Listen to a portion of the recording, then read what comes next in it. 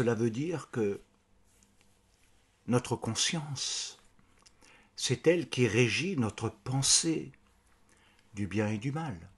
Donc il y a bien des fonctionnements. Il y a des, fondements dans le bien et des fondements dans le mal. Le bien, le mal, le mal, le bien, etc.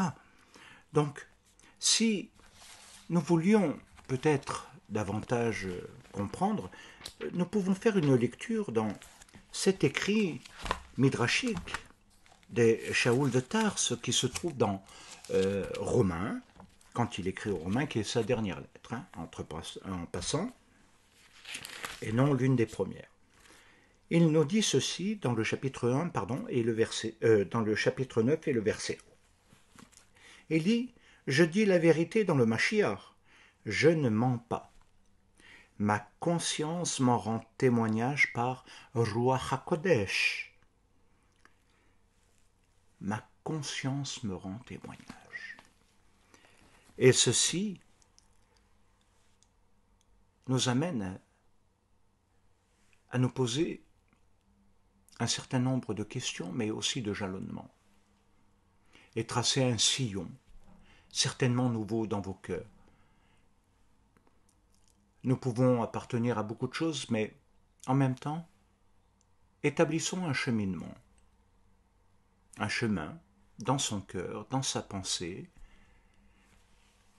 en, notant nos savoirs et nos connaissances, afin de nous laisser imprégner et enseigner par la joie HaKodesh, par le souffle de vie du Messie.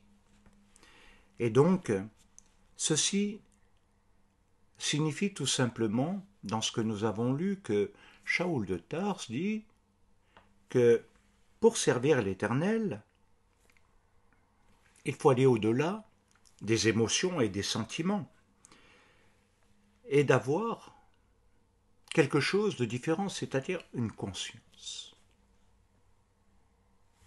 Une conscience de la réalité, mais aussi de sa mission, de son but. Mais allons plus loin. C'est pourquoi il est important, lorsque nous devenons les Talmidim, les disciples du Messie, ou d'être tout simplement un tzaddik, le fondement premier de la conscience c'est de désobéir à la désobéissance, afin d'acquérir l'obéissance. Yeshua a appris l'obéissance par les choses qu'il a souffertes. Cela veut dire tout simplement que oui, l'obéissance n'est pas quelque chose qui est en nous à la base. Nous sommes dans un état constant de désobéissance, entraînant la rébellion, la révolte, etc., le mécontentement, toutes ces choses qui suivent.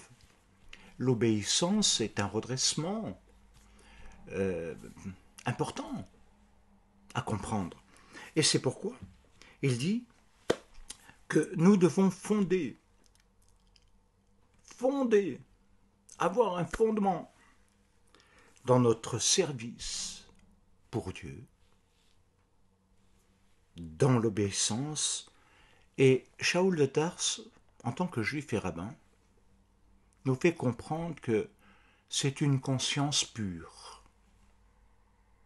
non souillée, non entachée, une conscience qui vient d'en haut, par une intelligence renouvelée.